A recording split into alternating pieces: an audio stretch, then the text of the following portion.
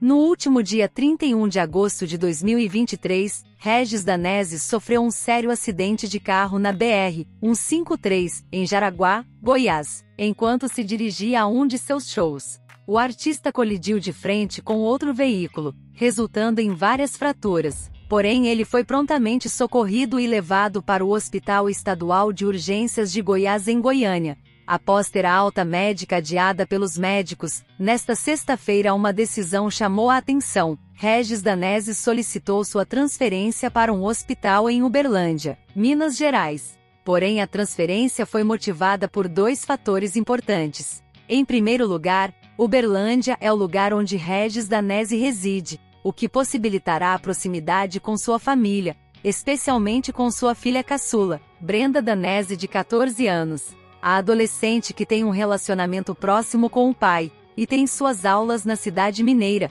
o que torna difícil visitar o pai em Goiás. A esposa do cantor, Kelly Danese, compartilhou a informação sobre a transferência. Agora estamos sendo transferidos para Uberlândia para continuar o tratamento lá, porque em casa é mais fácil. É para mim, que estou com eles sozinha. Lá eu vou ter a família, vou ter o apoio, afirmou.